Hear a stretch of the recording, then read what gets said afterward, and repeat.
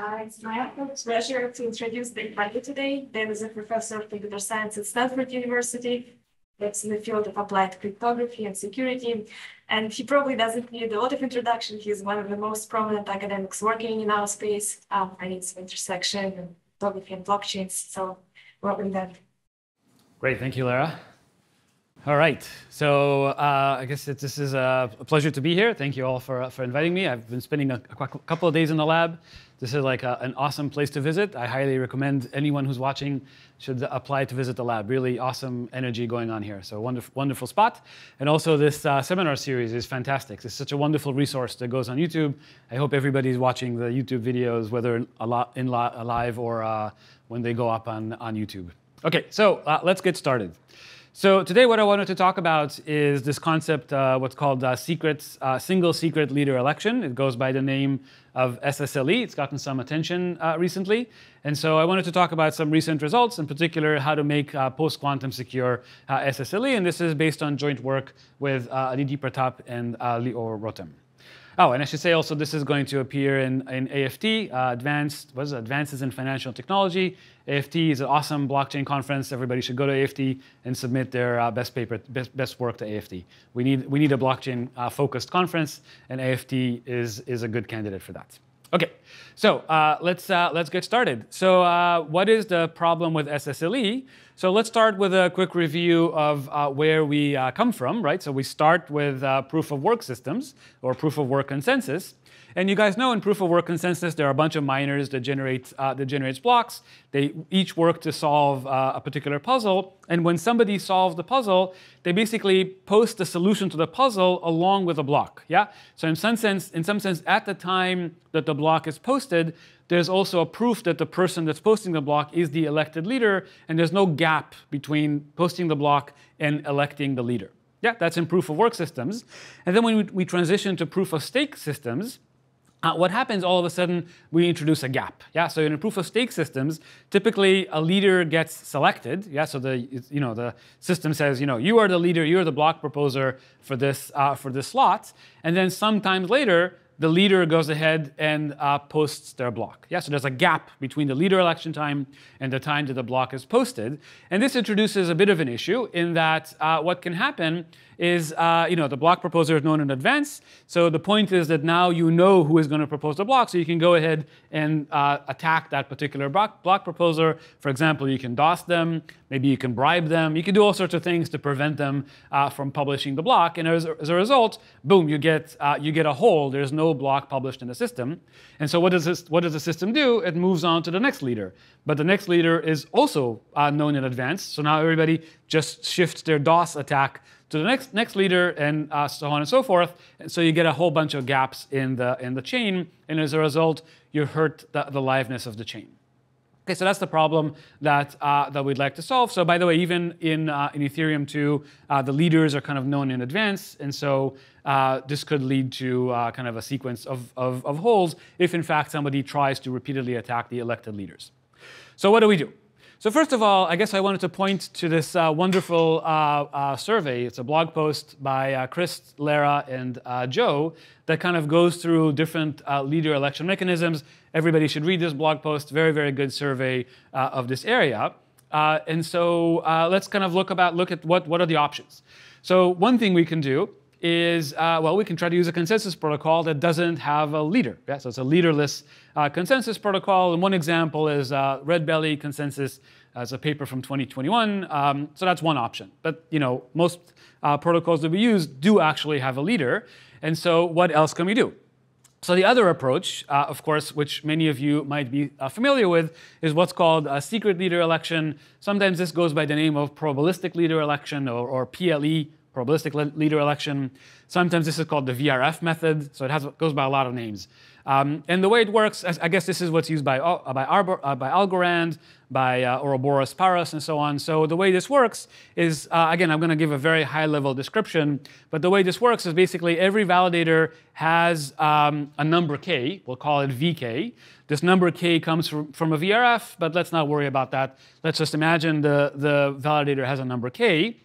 And then uh, when it's time to choose a leader, basically, to keep things simple, we'll say that a random beacon publishes some 256-bit number r, And the leader is the, is the validator that has the closest number to, uh, to R, or more precisely, the leader is the, is the uh, validator who is close enough to R that the difference is uh, you know, the range divided by the number of validators overall. Yeah, so an expectation, you'll expect that there's roughly one leader, well, an expectation, there's exactly one leader uh, elected every time.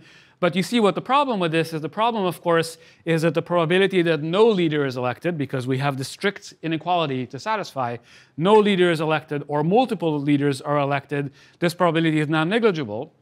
And as a result, all these systems have to deal with these corner cases where nobody got elected or multiple people got elected. Somehow there's a runoff, often there's a runoff election between the elected leaders. leaders. And so there's kind of more logic that needs to go into place uh, when we use PLE. Yeah, probabilistic leader election.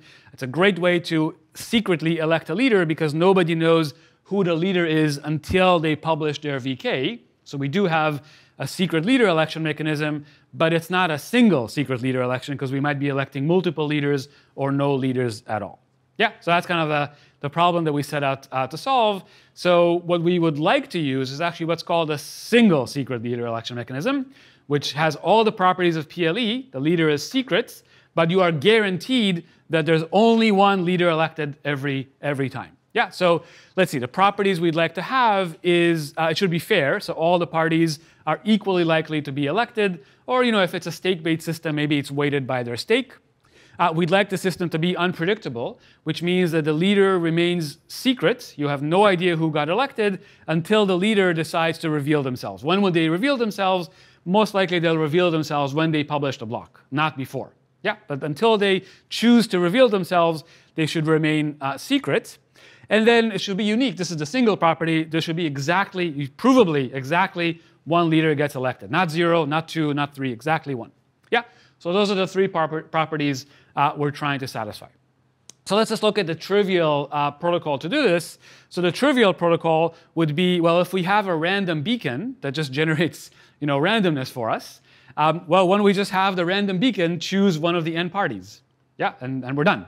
So let's see. So that is guaranteed to be fair because we're choosing one party at random from the n parties. It's guaranteed to be unique because the beacon is choosing exactly one of the n. But of course, it's completely predictable because once the beacon is public, you know exactly who the leader is going to be, and then you can go and DOS them. Okay, so the trivial mechanism using a beacon doesn't actually work. Now, surprisingly, actually building a secure SSLE protocol, this turns out to be a lot harder than, uh, than we think. This is actually not, a, not an easy primitive uh, to satisfy. I'll show you some constructions in just a minute, but kind of constructions that, for example, don't use a random beacon, they end up using fairly heavy cryptographic tools. Yeah, so it's like, this is not an easy thing uh, to construct. And we're going to go through a couple of the constructions uh, in just a minute.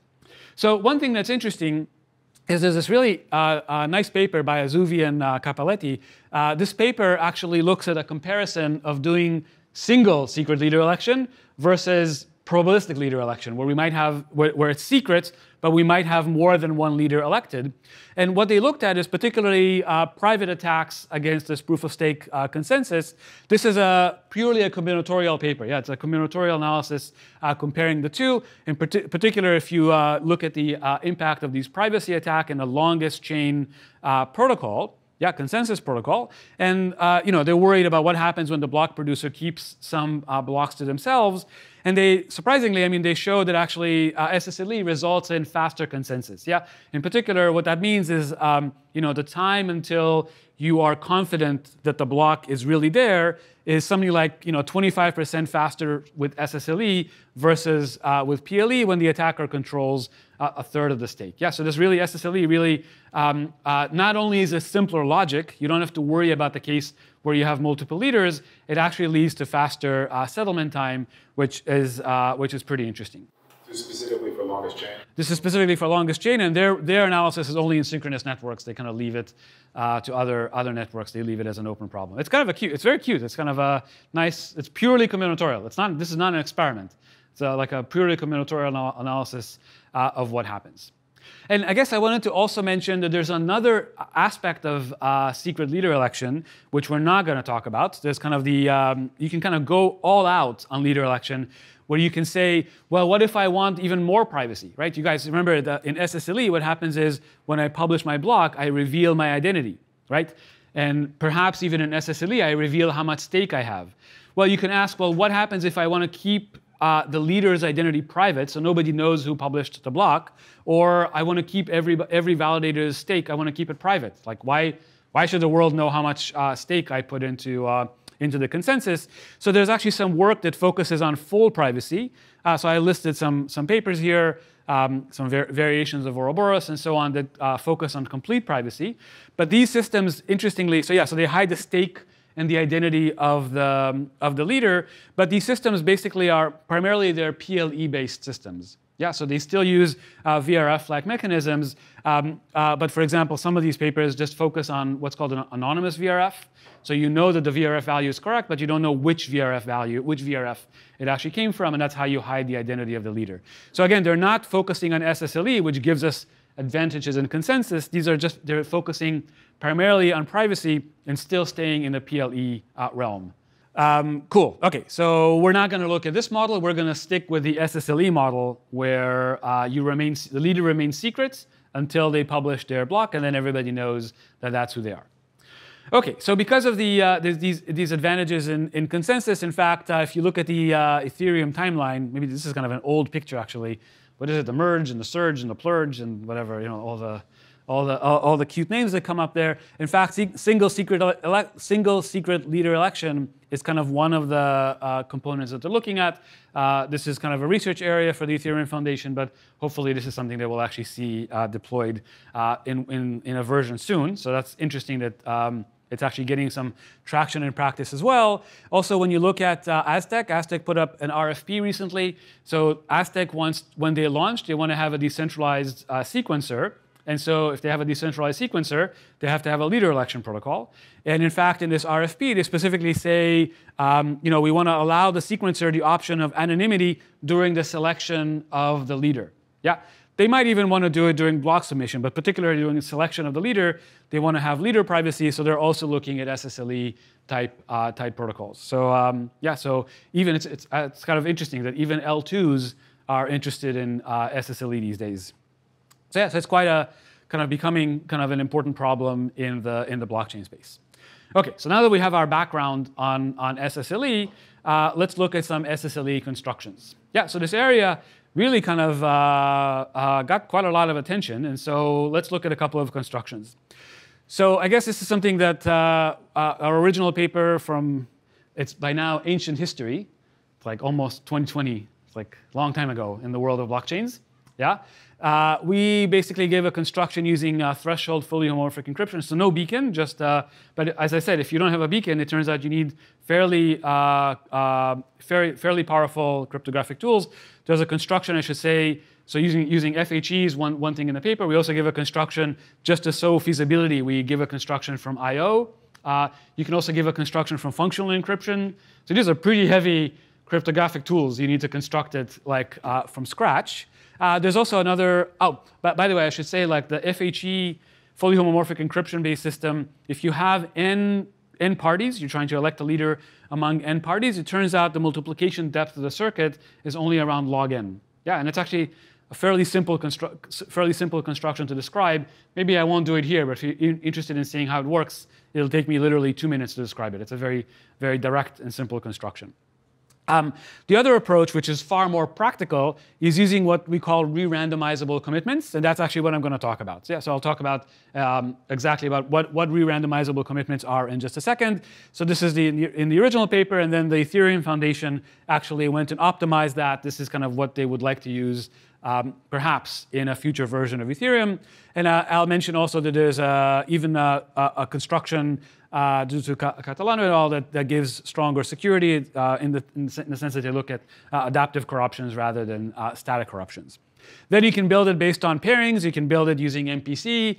Uh, and then uh, Sanso in, the Ethereum Foundation even looked at constructions from isogenies. The reason, again, they were interested in post-quantum uh, SSLE, and so there is a construction uh, from isogenies as well.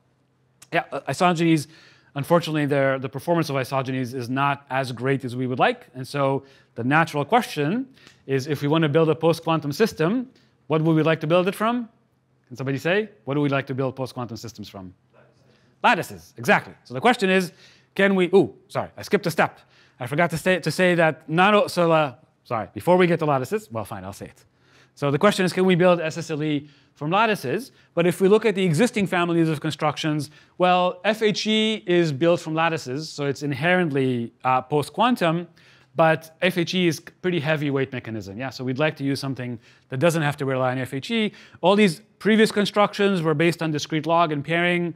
They fall apart in the uh, uh, post-quantum world. Isogenies are post-quantum, and the MPC methods, well, it depends on which MPC you use. So maybe it is, maybe it isn't. Uh, okay, so that's kind of the state of the world. And the question that was open is, can we have a post-quantum SSLE? By the way, the reason uh, we started looking at this, it's also kind of a philosophically interesting uh, question, which uh, also came to us from the Ethereum Foundation. And they, they, they said that for every cryptographic primitive they deploy, they would like to have, even though it's pre-quantum today, they would li- like to have a post-quantum variant so that if, you know, oh my God, tomorrow we open the New York Times and it says somebody in the world built a, a quantum computer, the Ethereum Foundation has, they know what to do. They know what to deploy. So for everything, it's quite a, uh, very, it's a very good philosophy. Actually, for everything they deploy, they want to have a post-quantum variant. Maybe they don't deploy it right away, but they want to have it in their pockets instead, in, in case they need it, uh, they need it in an emergency. So for SSLE, we need to have a post-quantum version. All right, so let's go and, and build one. And the one that I'll focus on, because they kind of chose uh, this approach, I'll fo- will focus on post-quantum from re-randomizable commitments. And that turned out to be kind of an interesting question. And that's what, that's what I want to tell you about. All right. So to explain how to build it, I first of all have to explain what are re-randomizable commitments and how, how do they come up in SSLE. So let's walk slow, slowly through the SSLE construction that uses re-randomizable commitments, and you'll see exactly what the problem is. All right, so we have our parties. So we have our n validators that we want to choose a leader from. The first thing that happens is called the commitment step. So what is the commitment, commitment step? Well, everybody basically generates some random number and they commit to that number. So they publish a commitment of their number. They also publish a hash of that number. And the reason we publish that hash is to make sure that all the committed numbers are unique. Yeah, we don't want to have any duplicates. So this doesn't break the commitment, it just reveals enough information to argue that uh, the commitments are unique. Okay, good. So that's just the setup, setup step. Now that we've done the setup, uh, what happens? So this happens at the beginning of time. Yeah, this is one time for the entire, the entire chain, or one time for many, many slots. So what happens next is now uh, we have the re-randomization phase, where a party wakes up. Yeah, so here Alice woke up, and what she will do is she will shuffle all these commitments and re-randomize them. Okay, so they, she literally permutes them under a random permutation. But of course, just permuting is not enough because uh, you can just look at the original commitments and the new commitments and figure out what the permutation is. So what she does, in addition to permuting, she also re-randomizes the commitments so they don't look anything like the original commitments. Okay? And we keep doing that. Oh, sorry. And then she has to produce a proof that the shuffle was done correctly. Yeah, this is called a proof of shuffle. That this is a zero knowledge proof that she permuted and re-randomized, but she didn't change any of the committed values. Yeah, so she didn't drop any commitments, she didn't add any commitments, and she didn't change any of the existing commitments. That's a proof of shuffle. And then we just do this over and over again. The parties just go ahead and every, everybody just uh, permutes. And then once they're done permuting, they're happy that kind of everything got permuted around. Um, what happens is we're going to use a beacon to randomly select one of these commitments. For example, the beacon says position number two is going to be my uh, the leader, and now nobody knows who uh, who position number two is because everything got permuted. Yeah, so the leader is secret at this point. The leader is committed to it, selected, but nobody knows who the leader is because nobody knows what is inside of the commitment. But when the leader is ready to publish their block, what they'll do is they'll reveal the fact that this is uh, K3 is their commitment and a proof that K3 is in fact uh, their, uh, their commitment. And then now they can publish the block. Yeah, does that make sense? So that's the process of uh, commit and shuffle. Um, yeah, so, uh, right, so the commitments hide who, so we select one commitment that doesn't reveal who the leader is, but the leader can later on open the commitment and reveal that that's who they are. So that's the general framework for doing it. And so now the question is, what kind of a commitment scheme do we need to make this work? So what we need, well, okay, so yeah. I think there's a question from. Oh, Zoom yeah. Chat. Oh, on Zoom You chat. can go to the chat. Yeah, so the question is, uh, oh, what is what does post-quantum alternative mean in practice? Oh my God, Aline, you want to get you want to get philosophical? I see. Uh, yeah, sure. Uh, I'm just wondering, like, there are precompiles, right, that support clearly not post-quantum cryptography, like elliptic curve arithmetic. So those seem really tough to protect. Yeah. So I see. okay. Uh, good question. Okay, this is this is a philosophical question. Like, what does it mean to be post-quantum secure if you have pre-quantum primitives, precompiles deployed in the EVM? Uh, well, uh, your your your guess is as good as mine. But I suppose if somebody comes up with a with a quantum computer earlier than we expect, you know, presumably these precompiles will continue to exist. Um, but we will also add post-quantum equivalent precompiles so people can migrate their their their contracts to these new to these new precompiles. This is, by the way, a pretty deep rabbit hole because, as you know, there's a way to immunize existing systems against a future quantum computer. Uh, but that's maybe that's a discussion for another another talk. Yeah. So thanks, Aline. This is a good good question, but that's a pretty that's kind of a long long and complicated conversation. We can have that debate, uh, not debate, that conversation maybe uh, after the talk. Sounds good? Yeah. Okay, excellent. Yeah, please. And the whole transcript of this SSLE would go on chain? Yeah, yeah, yeah. So of course the SSLE transcript has to go on chain, and that's a that's an excellent question. And so what happens is actually here I'm describing a simplified version of, of the protocol. So here we permute basically all the commitments so every time, time we permute, we would have to uh, write it all on chain. There are optimizations that dramatically reduce the amount of, of communication. I'll get to that at the very end. Yeah, we don't, so we can basically use, we don't have to permute everything. We can use a, a rapidly mixing, mixing shuffle, and then we only, only uh, touch a few commitments at a time. Yeah, so I'll, we'll, we'll get to that at the very end. Yeah. When the first person does, when the first person does the first permute, can they not just associate commitments with identities? Yeah, yeah. So this assumes this assumes one honest party. So as long as one of the parties is honestly shuffling and not revealing uh, what the shuffle is, then then at the end you break the connection between the commitments and the validators. But, but I can I know what like commit of K1 is, right? So now I know a value that is associated with a person. Then at the very end. No, no, you don't know what the you don't know what the the key is. You I don't just, know the key, but I, know the commitment. Yeah, but the commitment changes every time. It's re the commitment gets re-randomized oh, every okay. time. Yeah, so the commitment changes as you walk through this process. Got it. Yeah, so at the end, by the time you get here, the commitment is unrelated to, to the original commitments. Why is the random beacon necessary? Why can't you just say the first commitment is the, the winner? Yeah, there. Okay, good. So there are, are some some uh, technically technical issues with that. Um, so let's see. So if you say that the first commitment is the winner, so the last shuffler basically could always place themselves first, and then they win. Yeah. Does that make sense? Yeah, so, right. Yeah, so you don't want to do that. Yeah, it's interesting. Without, without a beacon, this is, uh, like I said, we need pretty heavy, heavy uh, tools to actually build this.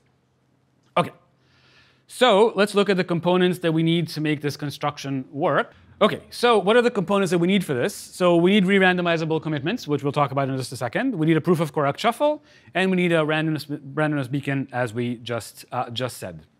And the properties, you know, fairness is guaranteed by the beacon, is going to choose one element at random.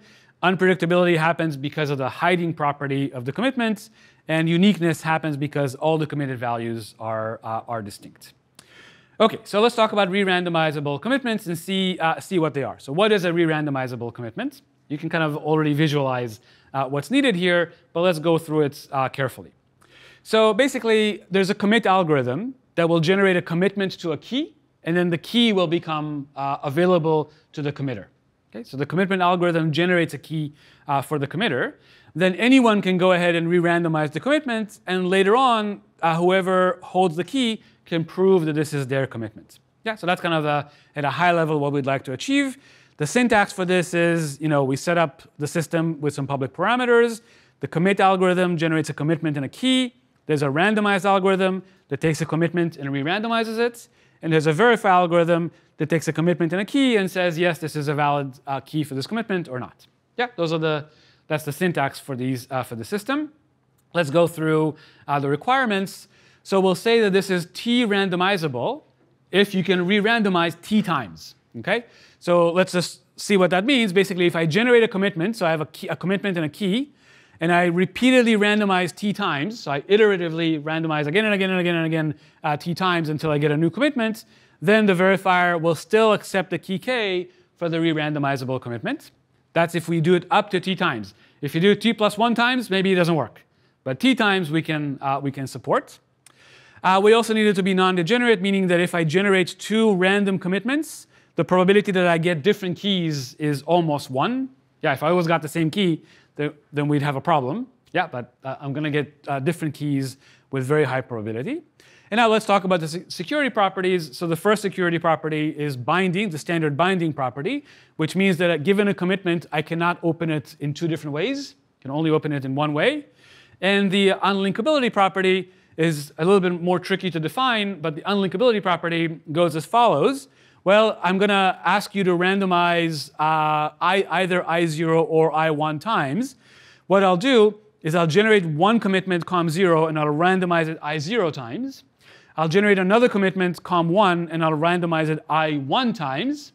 And the property is, maybe you guys can guess, but the property is that if I give you the two commitments, so you see the original commitments, and you see either the re-randomizable uh, zeroth commitment or first commitment, you can't tell which one you saw.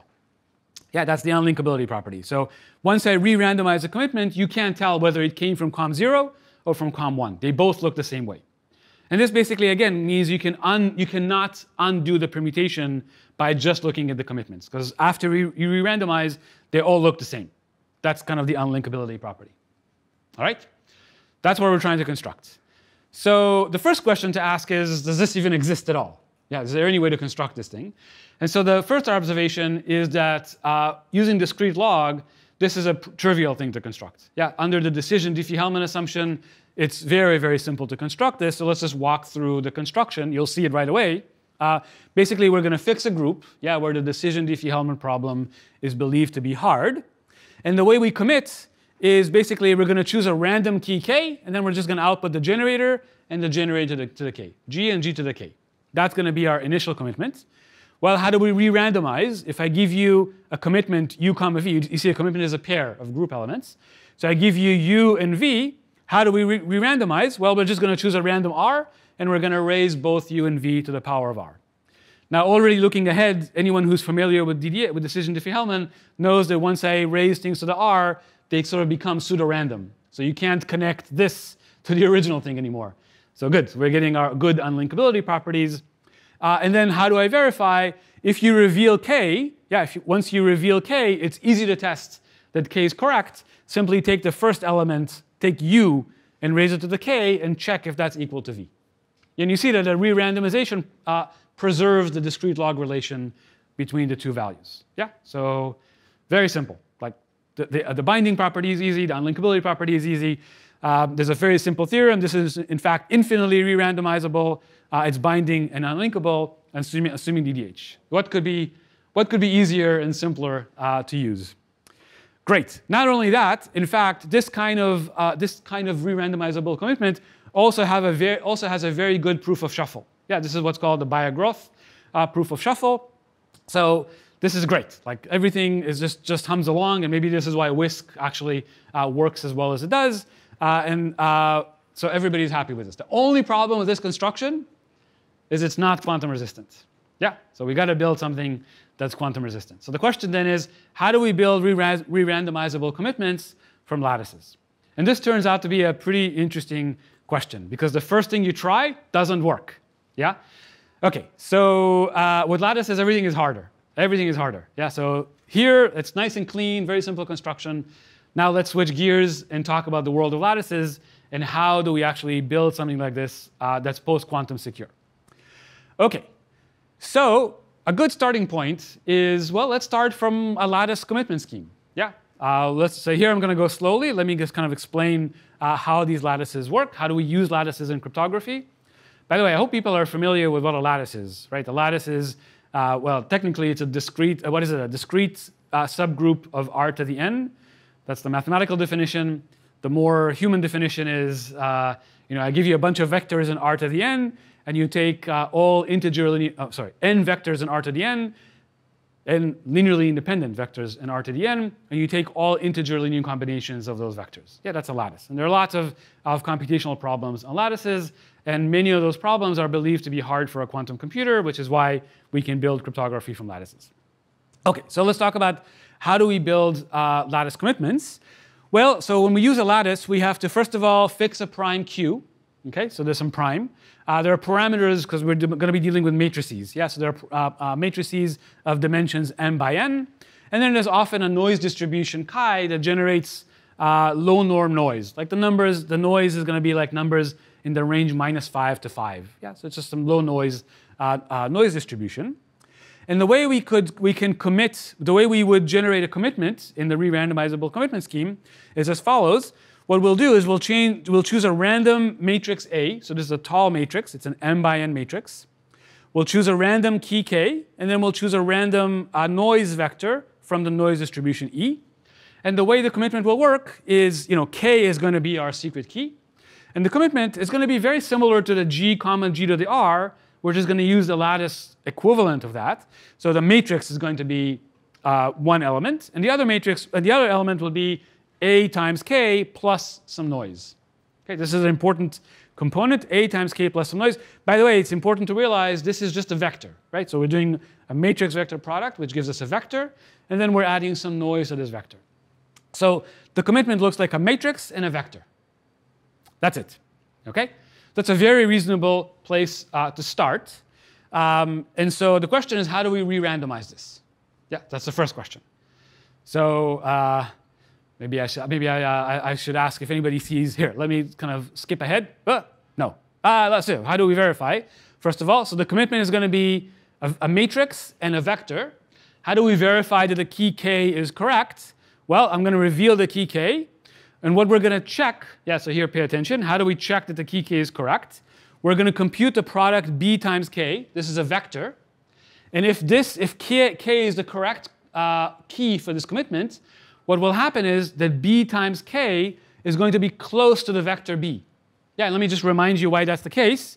If we look at the definition of b, b is going to be bk plus the noise vector. So if we take the vector, um, if we take the matrix b and multiply it by k, uh, basically what we're going to get is a vector that's off from B by uh, the vector E. And E is a low norm vector, right? So basically, if these two are close, in other words, their difference is a low, no, low L2 norm vector, then we say that K is correct. So let me ask you, see if anybody can help me here. So how would we re-randomize this commitment? So we have a commitment, you know, a matrix and a vector that satisfy, that we want to preserve this relation, that B times K is close to the vector b. How would we re-randomize the commitments? Inspired by regular encryption multiplied by a Boolean matrix, random Boolean. Ah, yes, exactly, exactly, exactly, exactly. That's exactly where we're headed. Perfect. Thank you. So uh, what we're going to do exactly, we're going to do kind of a kind of a thing that comes up in in, in lattices uh, quite a bit. And the way we re-randomize is we're going to choose a random sort of Boolean, you know, minus, minus one plus one square matrix. It's not a rectangular matrix anymore, it's a square matrix. And what we'll do is we multiply both the matrix and the vector by this low norm, low norm matrix R. Okay, fine. This is all standard uh, lattice stuff so far. And why, why does verification, let's just verify, why does verification still work? Well, remember this relation, this is how the vector is defined. So why does this relation still work? Well, we multiply, if we multiply both sides by R, you see, we're multiplying both sides by the matrix R, the noise, the difference between B and B times K, becomes R times E. Yeah, our low norm matrix times the low norm vector. Well, a low norm matrix times a low norm vector is still a low norm vector. Yeah, so they still remain close to one another. Not as close as before. They got a little bit further apart because we multiplied by a random matrix, but they still remain close. This is, by the way, why I, why I said that we only need T randomizable, because the more we randomize, the further apart they drift, and eventually they're going to drift too far apart and we're going to reject the key. So we can only re-randomize t times. Great. So we're off to a good start. Yeah, this is kind of the first thing that we, we tried. Surprisingly, just doesn't, just doesn't work. Yeah. So good. So uh, so great. We have a scheme. So the question is, is, I guess I gave it away. The question is, is it secure? So let's look at the analysis. So it's not so hard to prove a theorem that shows that the scheme actually is unlinkable. So if you re-randomize, in fact, the, the commitment you get is, um, is unlinkable to the original commitment. And this is based on the standard learning with errors problem, which I'll explain what that is in just a second. Great. And the proof, you know, this is, I'm not going to go through the proof. It's not a very interesting proof. It's kind of a standard argument using LWE and the leftover hash lemma. It's, this is kind of, for a cryptographer, this is like literally bread and butter. Yeah. Uh, we, do this, we do this in our sleep. Uh, so not a very difficult proof. Uh, but I guess now I have an opportunity to show you. I'm not sure if everybody is up to speed on the world of lattices. So just to, make, to, to, to show you what these assumptions look like, uh, let me explain what the learning with errors assumption is. I have an opportunity to explain this, so let me show you uh, what the assumption is. Uh, and the assumption, I'll describe it in kind of, uh, well, I'll describe it the way I like to describe it. Um, so again, we have these parameters, the prime, the dimension, and the noise distribution. And just so you see real numbers, the primes tend to be relatively small. So like they're 15-bit primes. Uh, the dimensions are in the hundreds. Yeah, so these are big, big vectors. And the variance is actually, again, very small. The, the, noise distribution is literally numbers between minus 5 and 5. It's kind of a Gaussian uh, between minus 5 and 5 with variance of 1.75.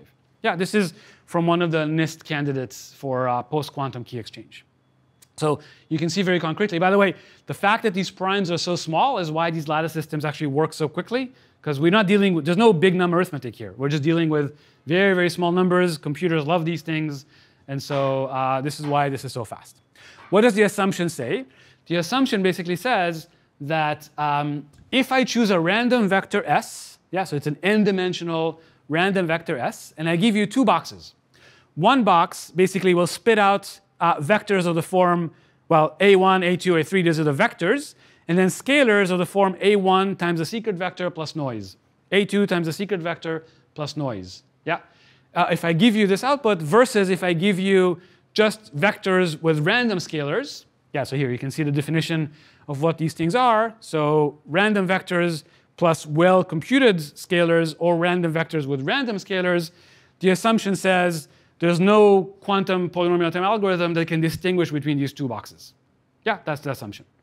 So it's kind of it's, uh, uh it's very interesting. For example, if the noise was zero, if all the noise value were zero, this would be false right? Because if all the noise values were zero, then after a few samples, you'll be able to solve for S.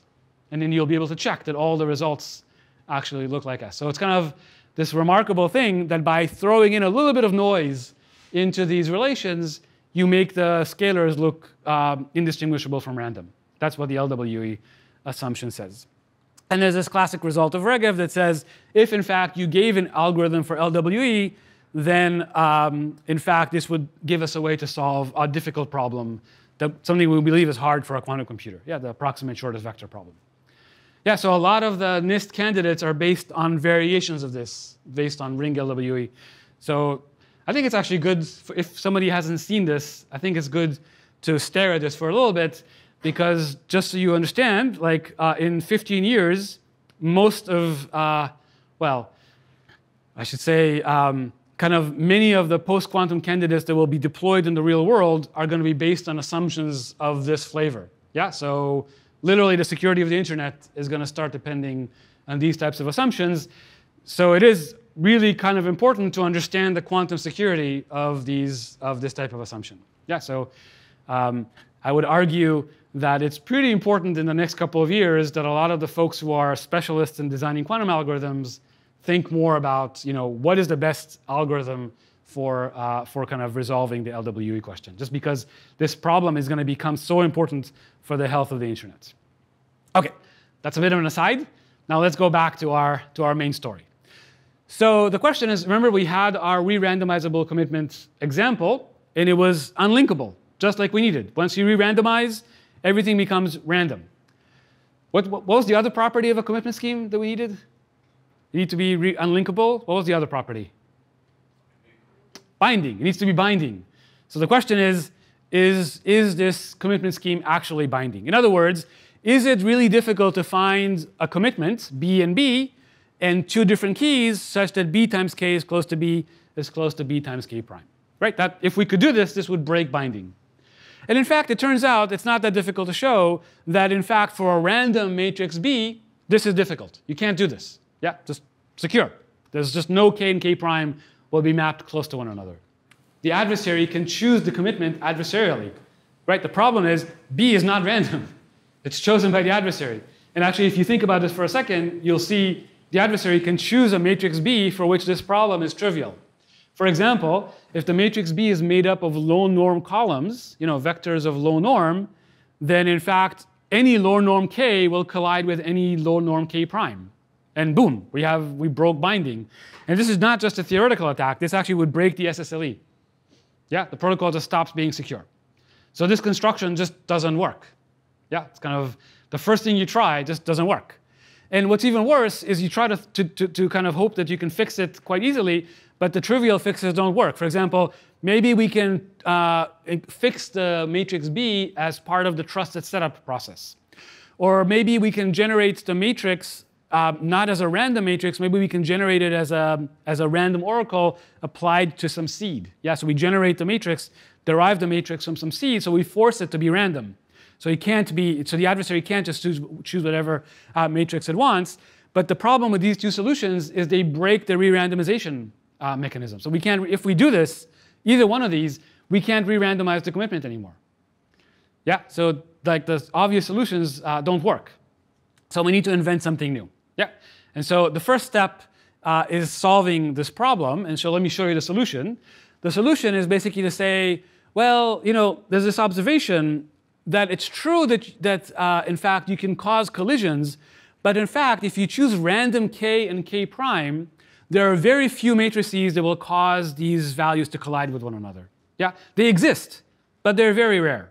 Yeah, and so what we'll do is if we choose enough random vectors, enough random k1 to kl, then in fact you can argue that with very high probability there is no matrix. There, there are no collisions among these, these set of vectors. Yeah, so that's kind of the observation. And that's going to be our way out. And so the actual commitment scheme, what we'll do is rather than, if you remember before we used a single vector, now in, instead of committing to a single vector, we're going to commit to a matrix. This is going to be, we're going to expand this into a matrix away from a vector. And in fact, this matrix that we're going to, that's gonna, we're going to use as a key is going to look like just uh, basically L random vectors. And we force it to be L random vectors by basically using a hash function. Yeah, so we'll model as a random oracle. So kind of we force the adversary to use a random key. The matrix we have no control over. The matrix can be arbitrarily adversarial, but the key we can force it to be um, to be a random looking vector, a random looking matrix. Yeah, and the point is everything works the same. So to verify, you're just going to reveal the seed, and you're going to check these L2 L2 norm conditions, and re-randomization works exactly as before. Okay, so that's kind of the uh, almost the final construction.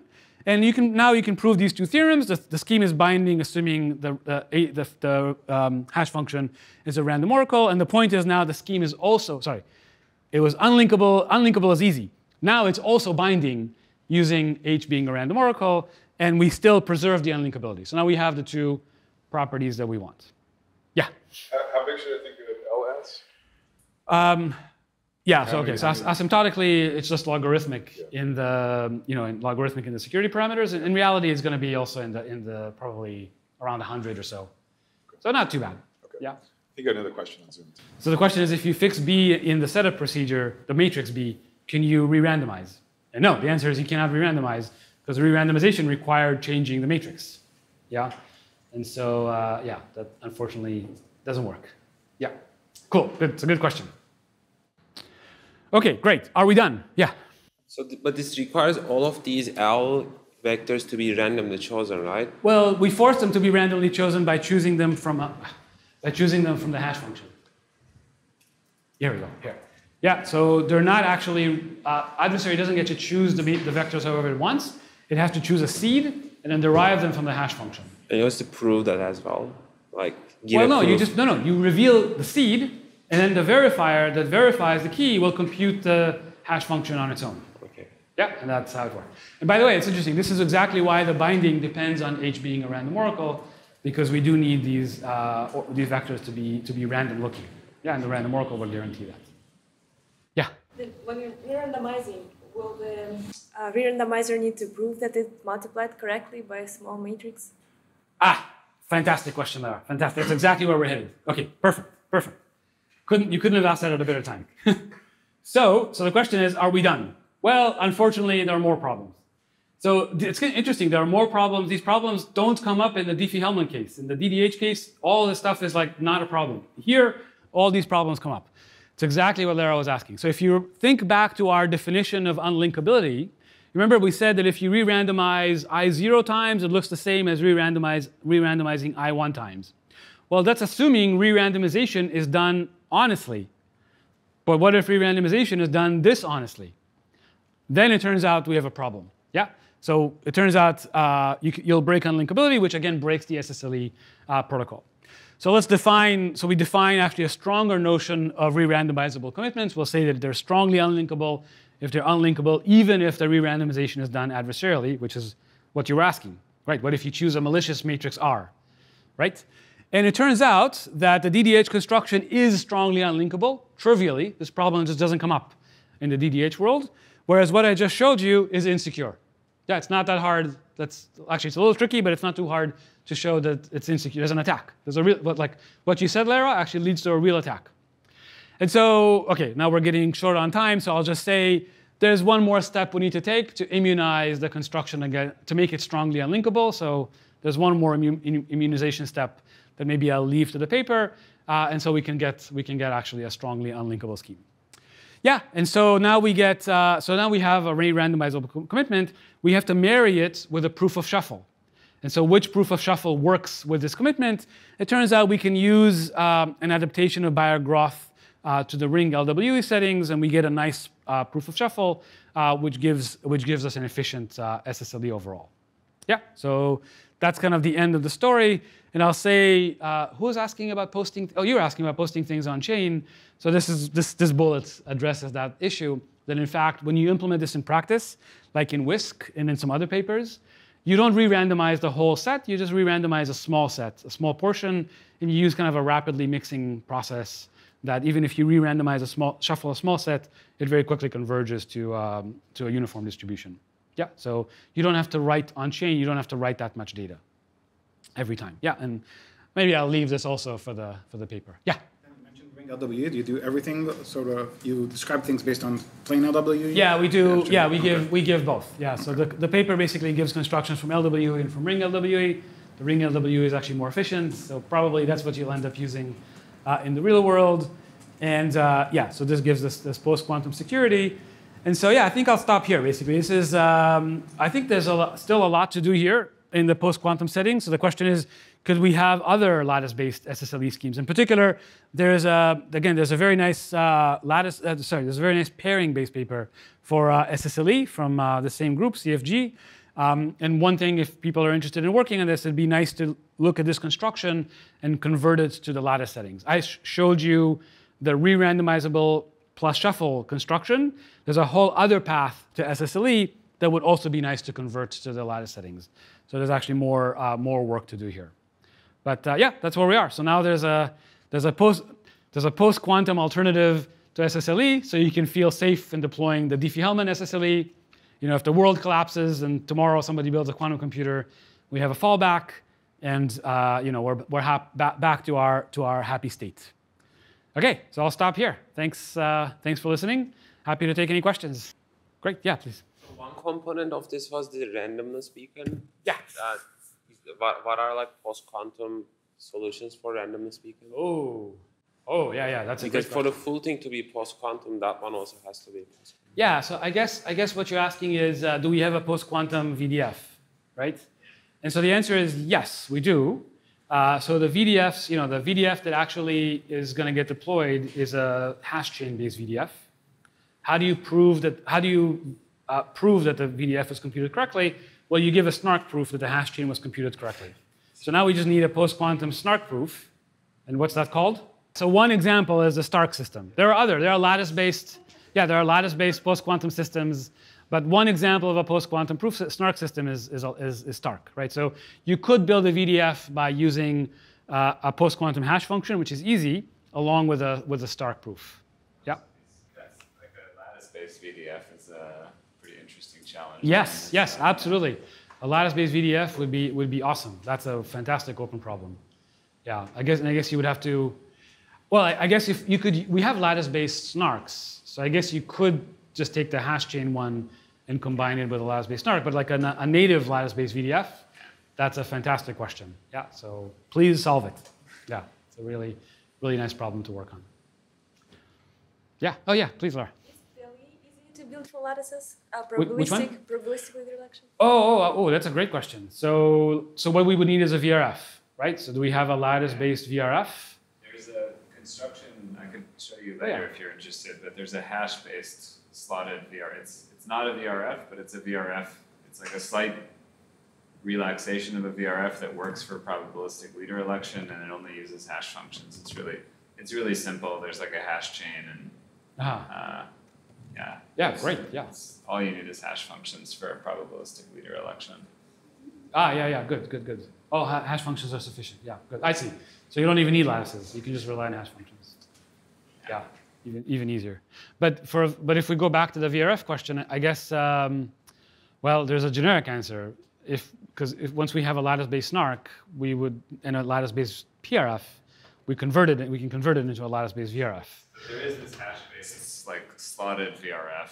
The restriction is that you can only compute it once per slot, but that's all you need for. Mm. That's all you need. Yeah. Good, good, good, good, good. Because you Yeah. basically reveal like your key for that slot, which is the spot in the hash chain, and Yeah. yeah. So, so just to maybe pretty to summarize what Joe said for the people in, at home. Uh, so Joe is saying that there's a very simple construction for PLE, probabilistic leader election, just from hash functions. You don't need anything uh, other than hash functions. That's great. So then it'll definitely be post-quantum secure. Yeah, please. So I have a question. Uh, it seems that you need both random beacon and the random shuffle. It seems to me that these two things are, are the same. Um, Oh, a random beacon and a random. Well, okay, not not quite, right? So a random shuffle, or rather uh, a shuffle proof, is married to the uh, commitment scheme we're doing, right? You're, the shuffle proof you're doing is you're re-randomizing the particular commitment scheme that we have, and then you have to argue that the committed values on the input side are equal to the committed values on the output side, modulo the order. So that's more specific to the exact uh, construction of the commitment scheme. Whereas a, a beacon is just generic. It just gives you random bits. It doesn't care about the commitments. Um, uh, so what you need is a proof of for permutation. yes, exactly, I see. exactly. Okay. So you need to exactly you need to argue. You need to prove that the output is a permutation of the inputs. Right. Nothing was added. Nothing was dropped. Nothing was changed. Yeah, and that, that's what these proofs of shuffle do. Yeah.